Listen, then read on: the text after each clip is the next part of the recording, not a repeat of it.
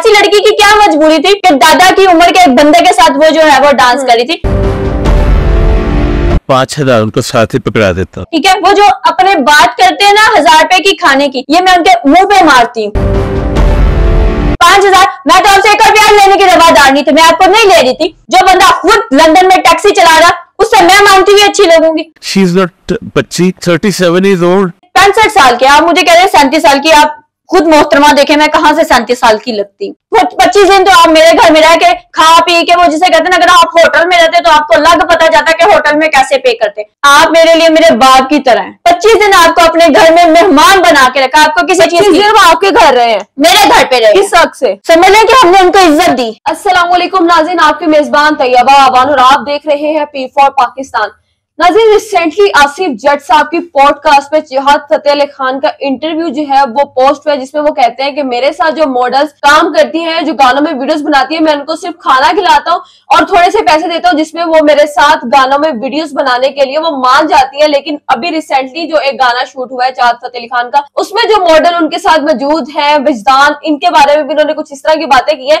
तो हम इनसे बात करते हैं। असला वालेकुम सलाम। कैसी हैं आप? अल्हम्दुलिल्लाह मैं ठीक हूँ। अच्छा चाहत फतेह अली खान साहब ने कहा है कि खाना खिलाते हैं और वो लड़कियों को जो है मॉडल्स को खाना खिलाते हैं और उसके बाद वो उनसे वीडियोस बनवा लेते हैं। तो क्या आप खाना खाने भी मान जाती हैं?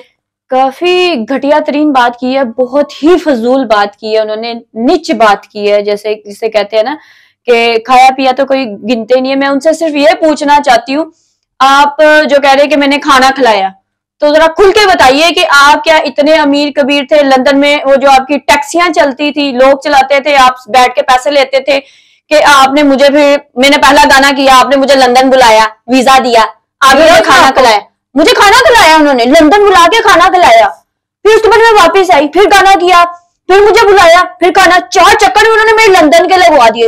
इस कदर अमीर थे वो टैक्सी चला के इतना पैसे कमाते थे। अच्छा तो फतेह अली खान साहब ने कहा है कि आपको खाना खिलाया कितनी बार आपने शूटिंग की है कितनी बार आपने खाना खा लिया? इंतहाई फजूल बात ठीक है उन्होंने की है। कि भाई मैं खाना खिलाता था, कौन से खाने खिलाते थे? आप मुझे भी जरा आके मेरे मुँह पे सामने आके बैठ के बात करें। वो जो आप आया प्रिंटर घर मैं खाना खिलाता था, कौन से खाने खिलाते थे आप? पूरा पच्चीस दिन तो आप मेरे घर में रह के खा पी के, वो जिसे कहते हैं अगर आप होटल में रहते तो आपको अलग पता जाता कि होटल में कैसे पे करते। आप मेरे पैंसठ साल के, आप मुझे कह रहे हैं सैंतीस साल की, आप खुद मोहतरमा देखे मैं कहाँ से सैंतीस साल की लगती। ठीक है? मेरी ना तो तीन शादियाँ हुई हैं और ना ही मेरे कोई सात बच्चे हैं आपकी तरह, ठीक है? और ना ही मैं कोई नानी दादी हूँ, जो आप मेरे पे, मेरी उम्र जो है वो देख रहे हैं कि बता रहे हैं कि सैंतीस साल की है, ये वो। आप मेरे लिए मेरे बाप की तरह है, ठीक है? आप आए, अल्लाह तला ने आपको पैंसठ साल की उम्र में रिस्पेक्ट दी।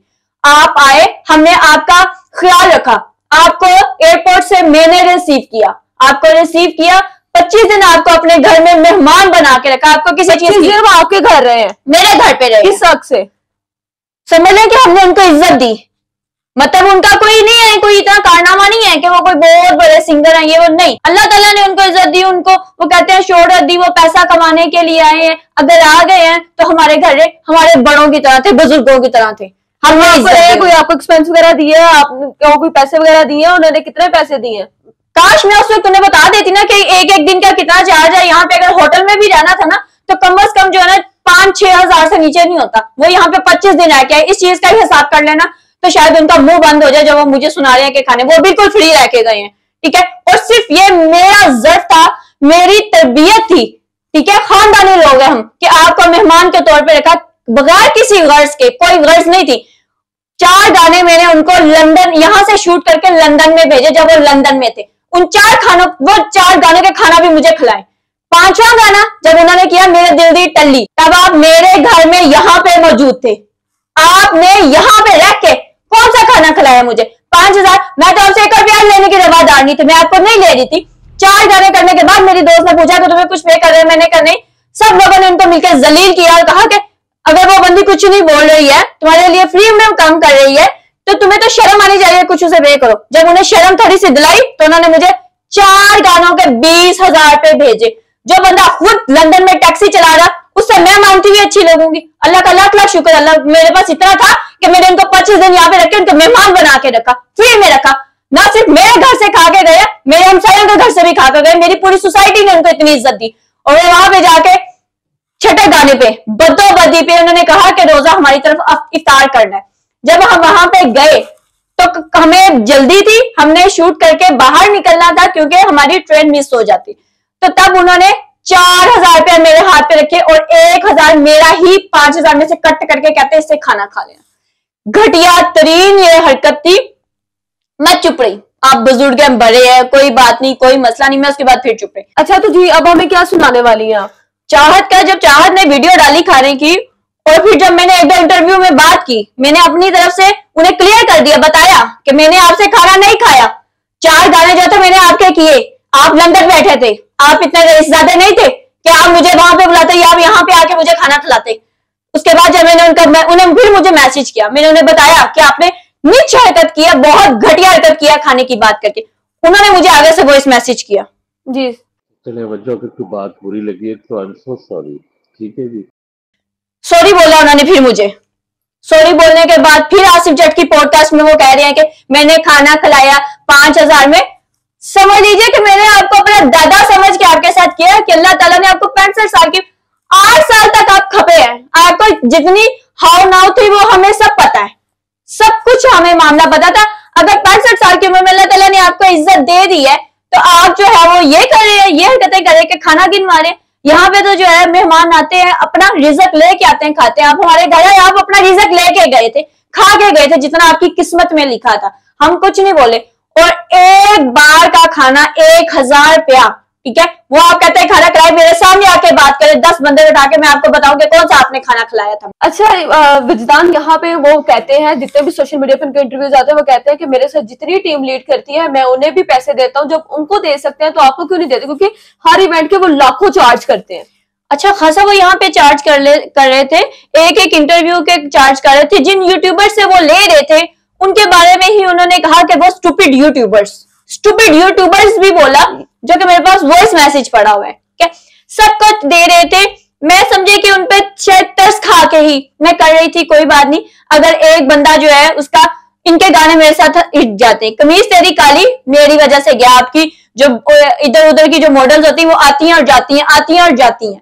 आपका बदोबदी किसकी वजह से गया? आपको लगता है कि वो आपकी वजह से गया नहीं गया आपको। आप हमसाया मुल्क से चेक करें जाके सारे पेजेस पे सब चेक करें।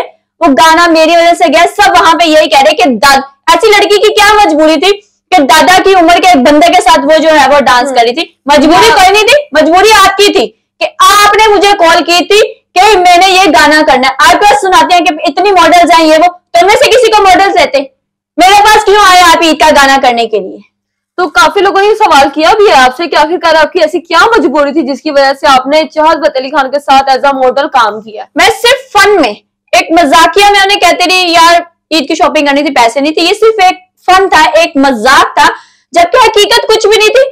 मेरी वजह से अगर उनका जो इन्होंने इतना कमा लिया है, ठीक है, वो जो अपने बात करते हैं ना हज़ार रुपए की खाने की, ये मैं उनके मुँह पे मारती हूँ, ठीक है? आप अपना हज़ार रुपया अपने पास रखें, मुझे आपका हज़ार रुपया नहीं चाहिए। मैं आपको आपके पैसे भेज के ये हज़ार रुपया जो खाने के नाम पे आपने दिए, ठीक है? मैं सोशल मीडिया पे वीडियो बना के डालूँगी कि हाँ मैंने आपका वो जो हज़ार रुपया था ना, और नेक्स्ट आप किसी इंटरव्यू में ये नहीं कह सकते कि मैंने खाना खिलाया था।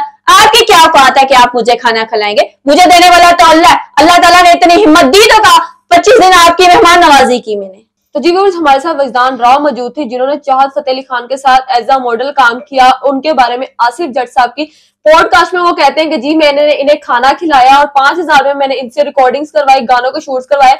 तो मॉडल्स ऐसे ही मेरे साथ काम करने के लिए मान जाती हैं। और वैसे ऐसे ही मान जाती है। इतनी इजीली वैसे मॉडल्स मान जाती है? ऐसा कुछ नहीं, समझ लीजिए कि तरस खाया था, कि सारी उम्र आप वहाँ पे टैक्सी चला रहे हैं और धक्के खा रहे हैं। अगर यहाँ पे अल्लाह तला ने आपको थोड़ी सी इज़्ज़त दी है तो झुक जाए, आजीज हो जाए। अपना लहजे में नरमी पैदा करें, इतनी अक्ल मत पैदा करें। अल्लाह ताला वो कहते हैं, इज़्ज़त और जिल्लत जो है ना, वो रब के हाथ में है। और वो यहाँ पे आके, वो अपने आप को कुछ अलग ही सही चीज़ समझना शुरू कर दी। आप जिस तरह के इंटरव्यूज़ दे रहे हैं ना इंटरव्यू के पैसे लेते हैं। उतना भी कम अज कम नहीं पे कर सके, आपकी इतनी औकात नहीं है। तो जी, वो वजदान राव हमारे साथ मौजूद थी, जिन्होंने चाहत फतेह अली खान के साथ जो है, वो गाना किया एज अ मॉडल काम किया, और चाहत फतेह अली खान साहब ने आसिफ जट साहब की पॉडकास्ट में कहा है कि मैंने वजदान राव को खाना खिलाया और पाँच हज़ार रुपए पे किए, जिसकी वजह से वो इजीली मेरे साथ काम करने के लिए मान गई और उन्होंने मेरे साथ रिकॉर्डिंग्स की। तो ये क्या वजदान राव की असल बात जो थी, वो क्या थी, असल हक क्या थे? ये आज हमने वजदान राव से जाने। इसी तरह मुझे दे इजाज़त हाफिज।